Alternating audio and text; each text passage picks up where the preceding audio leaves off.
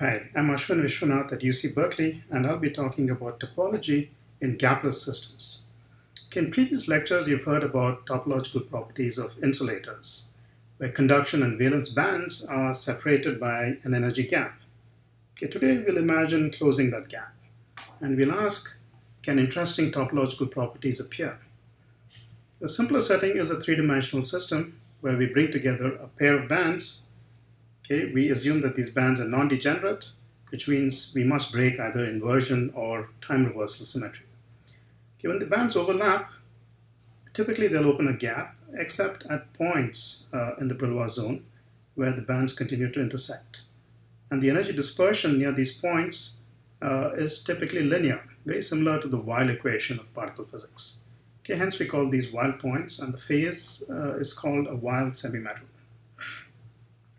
So Weyl points are sources and sinks of Berry flux. That is, they are monopoles and anti-monopoles, and you may suspect there's something topological about them. Okay, but in order to diagnose their topology, we know what to do. We need to look at the surface states. Okay, now, before we do that, there's a note of caution when you look at surface states of gapless systems. Okay, the surface states are only well defined at energies and crystal momenta where there are no bulk states. Okay, otherwise, they can leak into the bulk.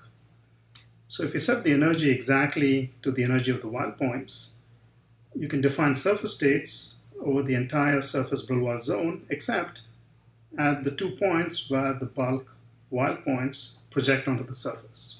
Okay, these are singular points. So indeed, the Weyl semi-metal gives rise to some very unusual surface states.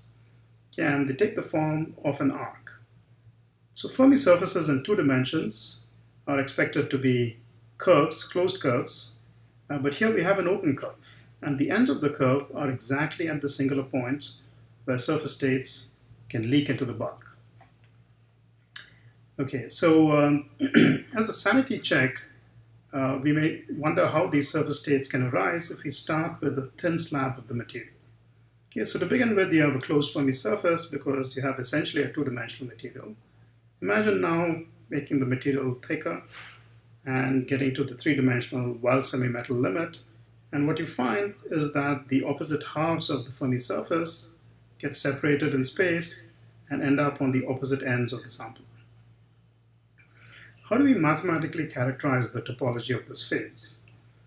Actually, it turns out we already have the necessary tools, and it is essentially the two-dimensional Chern number. At first, you may have two objections. The Chern number applies to a two-dimensional system. We are in three dimensions. Also, the Chern number is only well defined for a gap system. Okay, so both these objections are resolved when we look at the topology not of the entire three-dimensional Brillouin zone, but of a plane uh, in the three-dimensional Brillouin zone.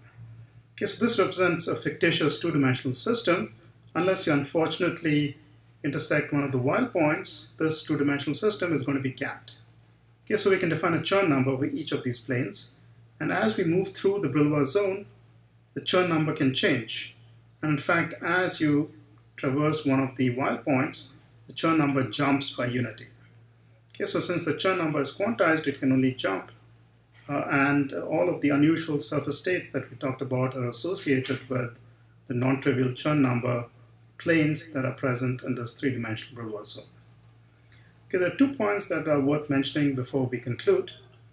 First, this picture tells you why Weyl nodes always come in equal and opposite pairs.